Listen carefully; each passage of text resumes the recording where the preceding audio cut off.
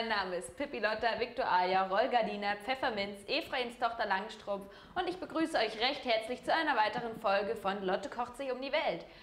Wie in der letzten Woche versprochen, koche ich heute etwas Leckeres aus der schwedischen Küche.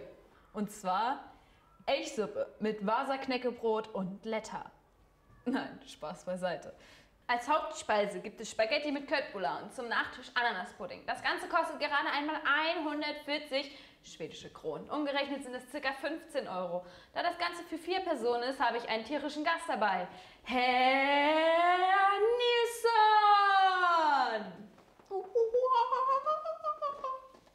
Als erstes beginnen wir mit der Nachspeise, dem Ananaspudding, welchen ich in dem Astrid Lindgren Kochbuch gefunden habe.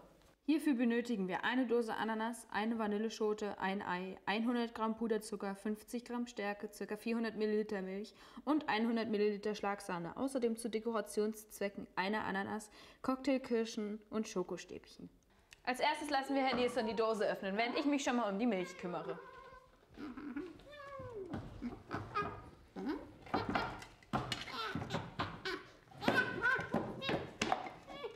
Ja, okay, ich mach das dann mal doch selber, ne? Es ist am besten, wenn wir den Ananassaft durch ein Sieb direkt in den Messbecher gießen. Schön abtropfen lassen. Natürlich sollten wir immer auf frische Produkte zurückgreifen, aber da wir für dieses Rezept den Saft aus der Dose brauchen, greifen wir auf eine Konserve zurück. Nun gießen wir den Ananassaft mit Milch zu einem halben Liter auf.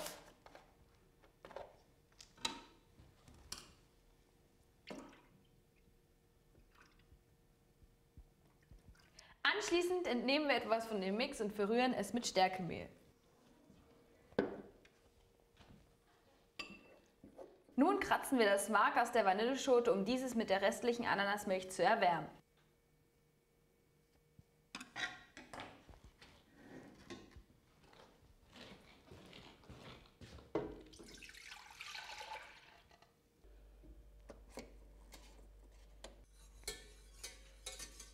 Wo ist denn überhaupt Herr Nilsson?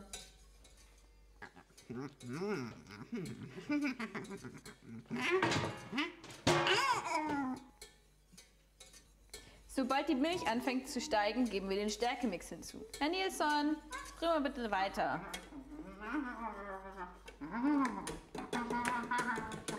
Bei schwacher Temperatur lassen wir unter ständigem Rühren alles eindicken.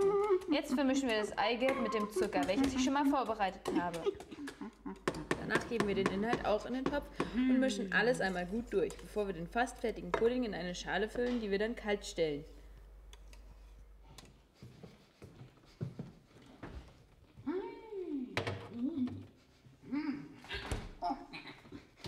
Um die Dekoration kümmern wir uns später.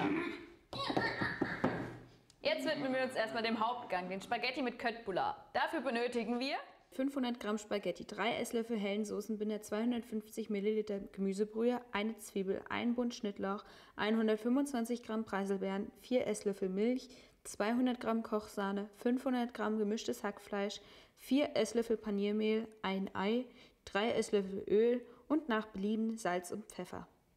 Zuerst kommen wir zu dem unangenehmen Teil der Zubereitung, dem Zwiebelschneiden. Dafür schälen wir die Zwiebeln und schneiden sie in feine Würfel. Ich habe ja gesagt, das ist ein bisschen unangenehm. In eine Schale geben wir Hack, Ei, Paniermehl, Milch, die Hälfte der Zwiebeln und eine Prise Salz. Verkneten das Ganze und formen daraus kleine Bällchen.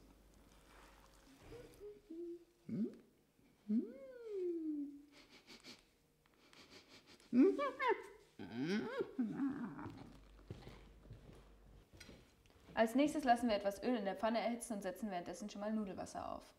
Sobald das Öl erwärmt ist, geben wir die Hackbällchen in die Pfanne und braten diese unter ständigen Wänden braun an. Dies dauert etwa 10 Minuten. Während wir die Spaghetti in das kochende Wasser legen, passt Herr Nielsen auf die Köttbullar auf, ohne sie zu essen.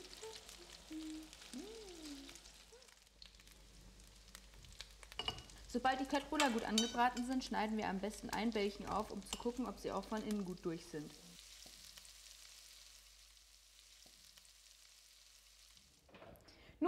wir uns der Soße. Hierfür dünsten wir die restlichen Zwiebelwürfel im Bratfett der Fleischklößchen an. Und mit der Gemüsebrühe und Kochsahne löschen wir die Zwiebeln ab und lassen sie aufkochen.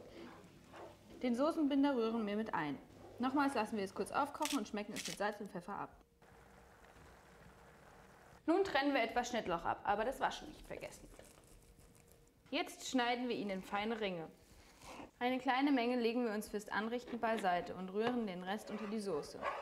Bevor wir den Hauptgang anrichten, kümmern wir uns erstmal um die Sahne für den Pudding. Henny, ist dann mit Essen spielt man nicht. Wir geben die Sahne in eine Schüssel, fügen einen Esslöffel Puderzucker hinzu.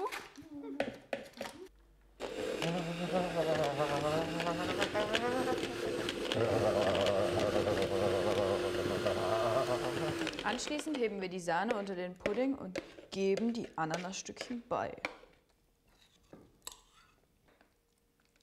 Nun widmen wir uns der Dekoration. Dafür schneiden wir die Ananas oben und unten ab, zerteilen sie längs, entfernen den Strunk und schneiden sie in Scheiben. Nachdem wir das Dessert in kleine Schalen gefüllt haben, dekorieren wir das Ganze mit Ananasscheiben, Cocktailkirschen und Schokostäbchen.